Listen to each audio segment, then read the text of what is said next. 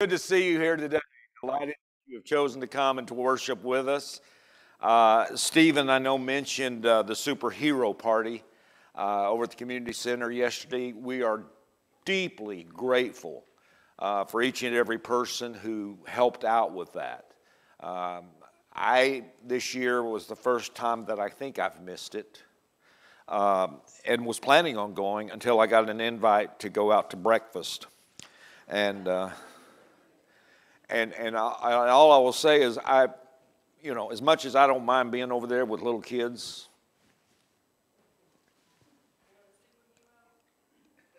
I, I'm not a superhero. But as much as I like being with those little kids, I like eating breakfast much more. And, and Shannon, I will tell you, you missed it. You missed it. Uh, if you have your Bibles and New Testaments with you this morning, I invite you to turn to John's Gospel, John chapter 21. There are 19 verses that I want us to read there uh, this morning as uh, the basis uh, for our sermon. John chapter 21, we're going to begin reading in verse 1, where John tells us that Afterward, Jesus appeared again to his disciples by the Sea of Galilee. It happened this way Simon Peter, Thomas, also known as Didymus, Nathanael from Cana in Galilee, the sons of Zebedee, and two other disciples were together. I'm going out to fish, Simon Peter told them, and they said, We'll go with you. So they went out and got into the boat, but that night they caught nothing. Early in the morning, Jesus stood on the shore, but the disciples did not realize that it was Jesus. He called out to them, Friends, haven't you any fish? No, they answered. He said, Well, throw your net on the right side of the boat, and you'll find some. And when they did, they were unable to haul the net in because of the large number of fish. Then the disciples, whom Jesus loved, said to Peter, it's the Lord. And as soon as Simon Peter heard him say, It is the Lord, he wrapped his outer garment around him, for he had taken it off, and jumped into the water. The other disciples followed in the boat, towing the net full of fish, for they were not far from the shore, about a hundred yards. And when they landed, they saw a fire of burning coals there with fish on it and some bread. Jesus said to them, Bring some of the fish you have just caught. So Simon Peter climbed back into the boat and dragged the net ashore. It was full of large fish, 153, but even with so many, the net was not torn. And Jesus said to them, Come and have breakfast. None of the disciples dared ask him, Who are you? They knew it was the Lord. Jesus came, took the bread, and gave it to them and did the same with the fish. This was now the third time Jesus appeared to his disciples after he was raised from the dead. And when they'd finished eating, Jesus said to Simon Peter, Simon, son of John, do you love me more than these? Yes, Lord, he said, You know that I love you. And Jesus said, Feed my lambs. Again, Jesus said, Simon, son of John, do you love me? And he answered, Yes, Lord, you know that I love you. Jesus said, Take care of my sheep. The third time he said to him, Simon, son of John, do you love me? And Peter was hurt because Jesus asked him the third time, Do you love me? He said, Lord, you know all things. You know that I love you. Jesus said, Feed my sheep. Very truly, I tell you, when you were younger, you dressed yourself and went where you wanted. But when you're old, you will stretch out your hands, and someone else will dress you and lead you where you do not want to go. Jesus said this to indicate the kind of death by which Peter would glorify God. Then he said to him, Follow me. Years ago, there was a major insurance ad for a major insurance company that, that said sometimes life comes at you fast.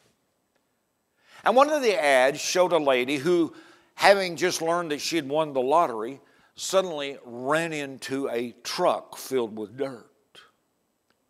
In another ad, It showed a man who got in his car to start it, and when he turned the ignition, the car simply fell apart bumpers and fenders and that sort of thing. The point they were trying to make is that indeed it's true that sometimes life can be more than we can deal with. I mean, there are those times, are there not, when we would like to simply uh, step aside from the push of living and just be comfortable. Such was the case for the disciples in our text this morning. Think about it. These disciples had been on an emotional roller coaster with the events of Good Friday and Easter the subsequent appearances by Jesus himself.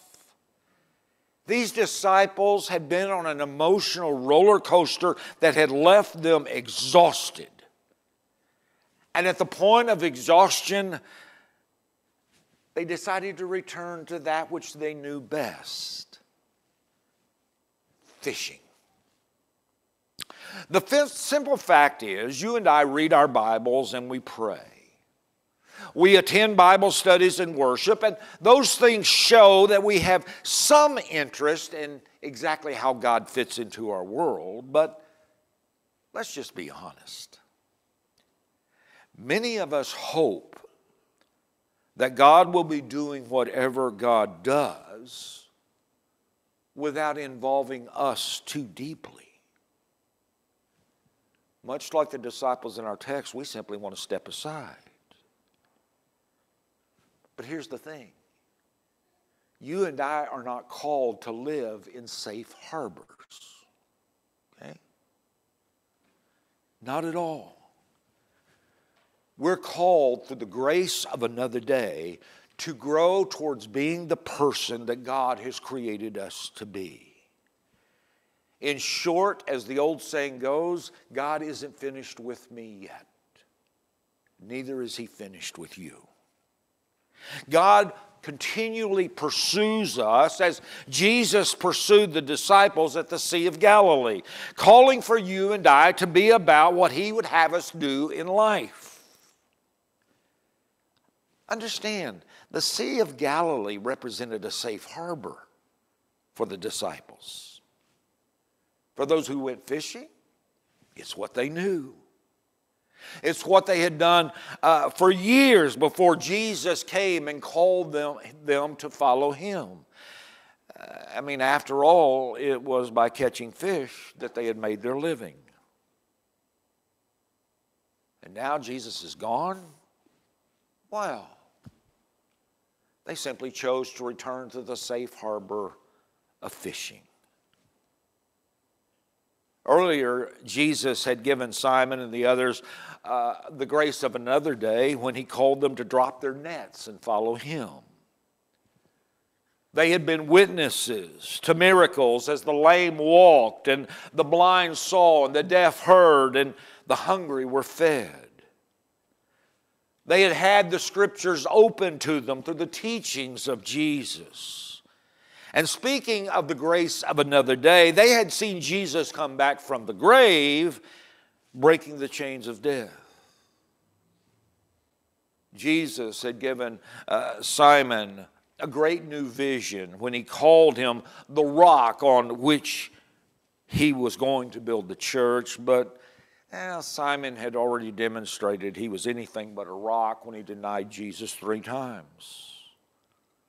But in our text for this morning, Simon is being given the grace of another day. What it meant was he has the gift of another day to begin being that rock, to begin fulfilling that vision. You see, the claim, the grace of another day is not enough merely to say that what we're going to do is this it must mean that we also have to begin to live our life in such a way as to be molded by our faith. You see, it's just not enough for Simon to declare his love for Jesus. He was told to feed the lambs of Jesus. You and I are given the grace of another day so that God's expectation for our lives can be met. We are given the grace of another day so that we can start once again to live out our hopes and our purpose.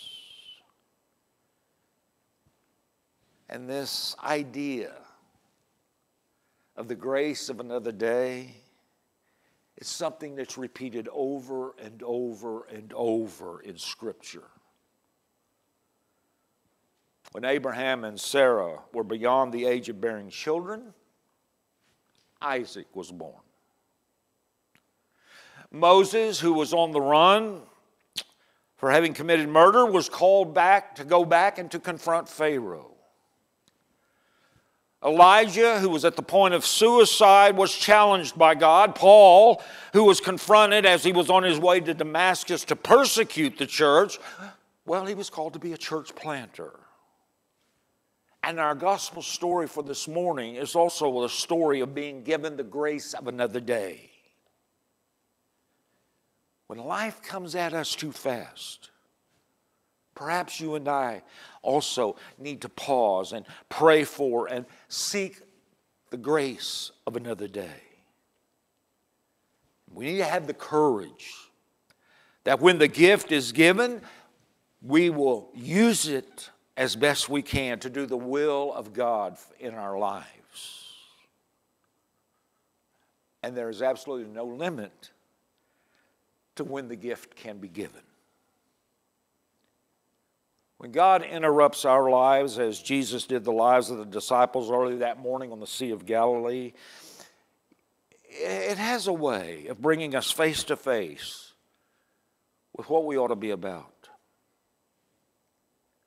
Unfortunately, for most of us, well, we like to be comfortable in our safe harbors. Uh, we like to retreat. We like to retreat into uh, the comfort of what we know and what we do, as opposed to being challenged to grow and to follow Him. We like to look back instead of looking forward. I mean, Peter might have protested by the Sea of Galilee. He might have said to Jesus, Hey, let somebody else feed your lambs. I'm going to simply be satisfied with the sentiment of saying, I love you. You see, the gift of another day is the opportunity to put our deeds where our words are, where our beliefs are, where our faith is. Uh, the gift of another day, quite frankly, is an opportunity to change. It's the opportunity to change. I, am reminded of the story of a wife who decided to put up a little plaque in her kitchen. Uh, and on that plaque that she put up in her kitchen, it simply said in quotations, prayer changes things. 24 hours later, it was gone had disappeared from the kitchen. And so she goes to her husband, who's sitting in the den, and she says, uh, Honey, what's wrong? Don't you like prayer? To which he replied, Oh, I like prayer. I just don't like change. Prayer changes things.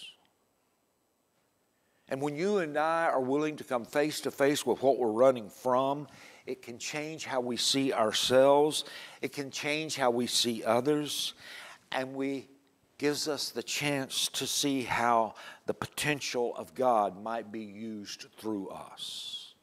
Mark Twain once wrote, You can't depend on your eyes when your imagination is out of focus.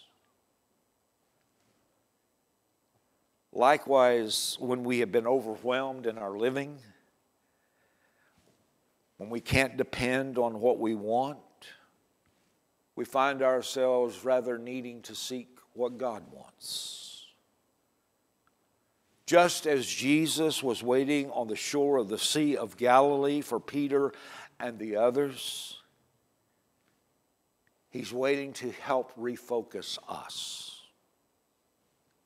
To paraphrase Mark Twain, You can't depend on your eyes when your faith is out of focus. You see, the grace of another day brings with it the challenge to change. Peter was no longer going to be able to be comfortable and simply ease back into fishing. Because now he knew that the journey he was set out on wasn't over.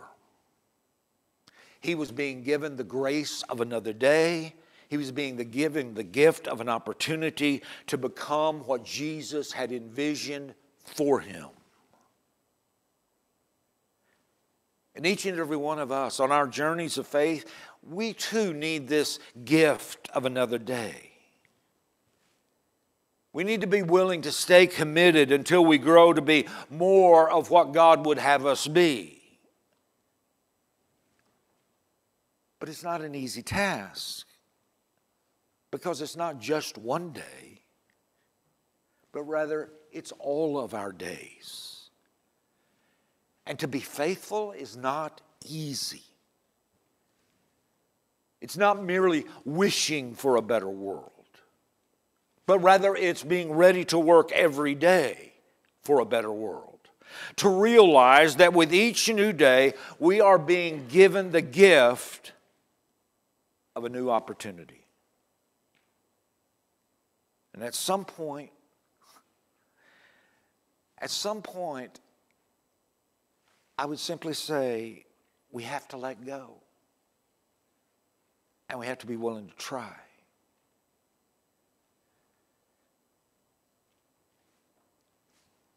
Peter, if you really, really love Jesus, you're going to walk away from the safe harbor of that boat and you're going to tend his flock.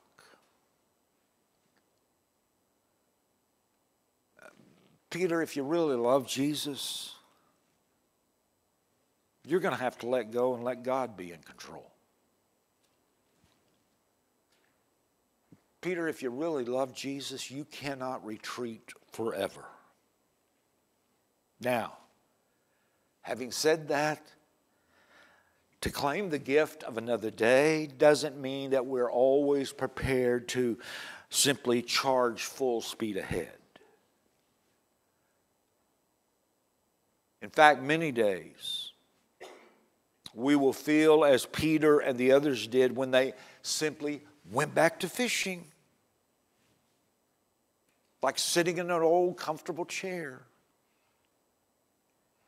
Because you see, you and I like the familiar. But here's the thing if we want the full benefit of another opportunity, we have to push ourselves to go on. As in the lesson from our text, we can't simply say we love God, we have to show it by our actions. A man by the name of Sydney Harris, who was a newspaper columnist in Chicago in the mid part of the 20th century, uh, once told a story about a time that he was giving a talk on creative writing uh, to a group of amateur writers. And after he had made his presentation, someone asked him, said, Mr. Harris, what do you do when you don't feel like writing? And Harris looked at the individual and says, I write. That's the difference between being an amateur and a professional. I write even when I don't feel like writing. Commitment to the task. Commitment to the task is the difference between a nominal follower of Jesus and a truly dedicated disciple. Disciple is a part of the word discipline.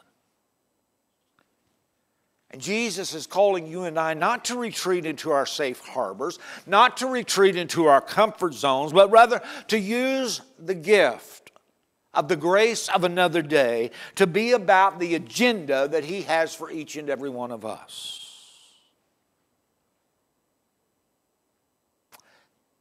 Ever wondered what Jesus was thinking as he stood by the lake and he looked out at Peter and those others who were fishing. You ever wondered what he must have felt inside?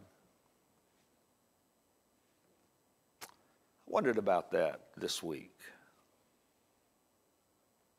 And I thought, is it possible that Jesus uh, was thinking to himself as he looked out at all of those disciples in the boats out on the Sea of Galilee, is it possible that he thought to himself, you know, these are the heart of the team that I had spent my ministry preparing to go into all the world with the good news.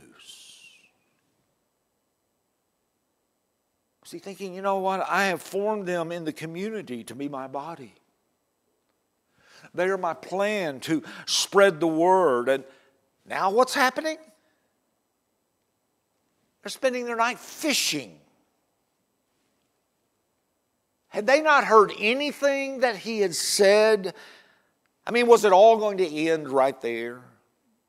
I mean, if we count the number of disciples in our text, there were seven of the original 12 who were fishing. Of course, Judas was gone. But four others had gone their separate ways as well.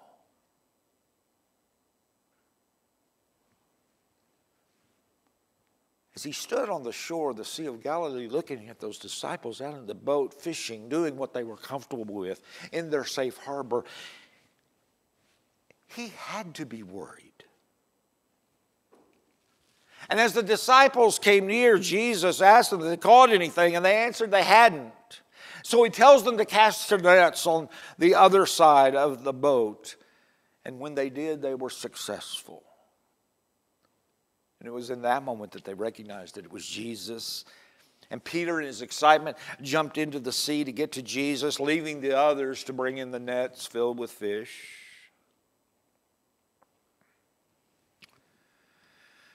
Jesus had prepared a fire to cook some of the fish for breakfast. John tells us they shared bread and fish together. And my guess is Jesus in that moment turned and he looked at the boats and the nets. The boats and the nets that those same disciples had been using. Uh, that boat that represented a safe harbor for Peter and the others who had gone out that night. I mean, after all, it had been their life before they met Jesus. But now they're being confronted by Jesus. And he asked them a question. As he looked at the boats and the nets that they had used to fish, he asked them a question uh, Do you love me more than these? Do you love me more than this which makes you comfortable?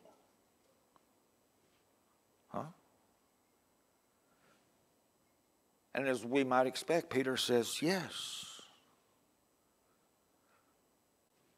Jesus then answered him three times, then show it. He called Peter to feed the lambs and to tend his sheep. You see, he was challenging Peter to be about what he envisioned when Jesus saw in Peter the potential to be the foundation of the church. But Peter had retreated into a safe harbor.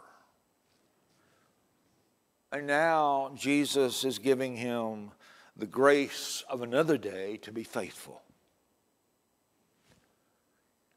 There was still time. There was still time for Peter to become the preacher at Pentecost. Uh, there was still time for Peter to confront the high priest and the elders and the scribes as they assembled.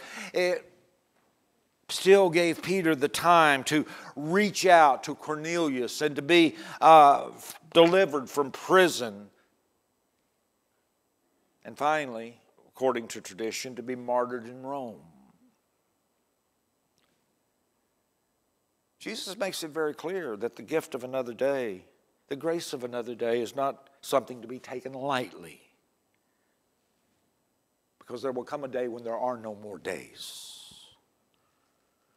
Jesus says, but then you'll grow old. You will stretch out your hands, and someone else will fasten a belt around you to take you where you do not wish to go. What Jesus is saying to Peter is this now is your opportunity. Now is your opportunity to get on with the mission that I have given you. Take the grace of another day, Peter. And he challenges him by simply saying, Follow me. Let me just add at this point the Webster translation. Jesus could have also added onto that phrase, follow me. I didn't choose the safe way, Peter.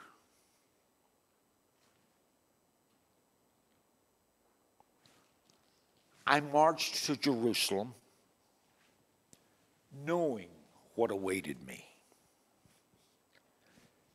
Peter, I took on the form of a servant, one obedient unto death, even death on a cross. Peter, drop the nets, leave the boats, get out of your comfort zone and follow me.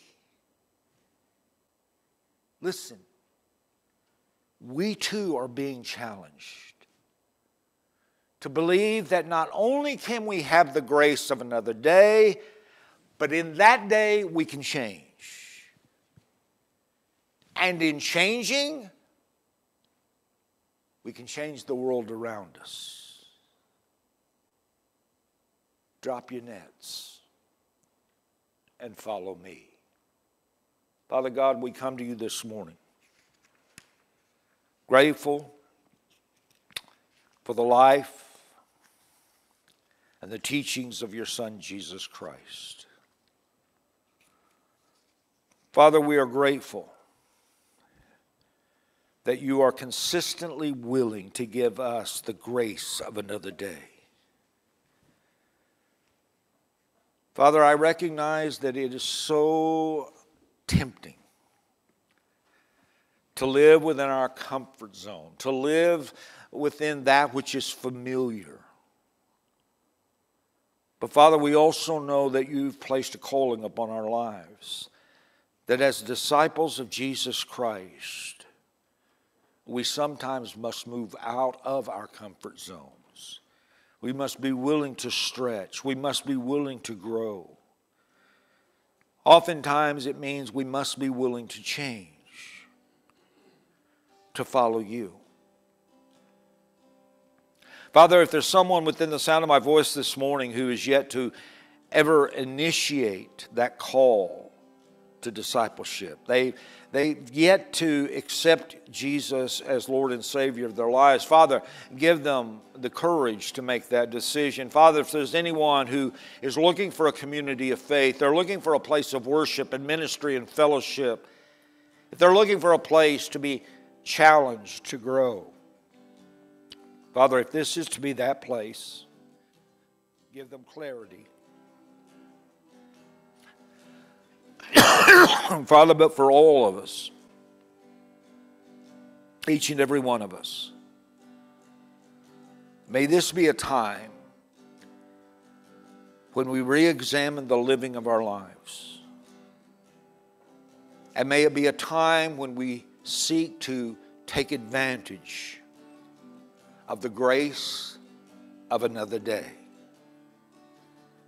It's a prayer we offer in the name of your Son, Jesus Christ, who is our Lord, our Savior, and our friend.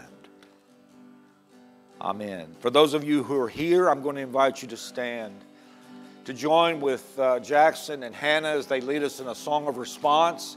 If there are those who are needing to make a decision public, I will be at the back, more than happy to greet you and to talk with you and to pray with you. Jackson.